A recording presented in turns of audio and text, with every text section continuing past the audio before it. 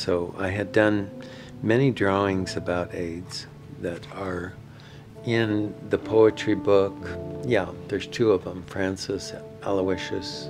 I had done an AIDS crucifixion. I had done 15 stations of a person with AIDS using only hands for the stations.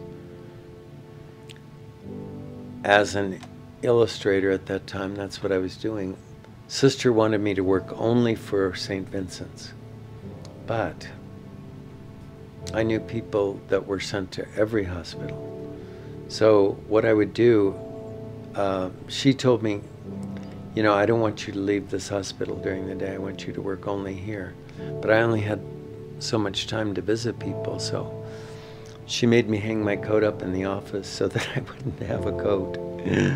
so I would go out on the street and get into a cab without a coat, you know, and then go to NYU Hospital or go to Cabrini or go to St. Clare's or go to Beth Israel or go to Sloan Kettering, all these different hospitals, and then come back and get my coat. She never knew that.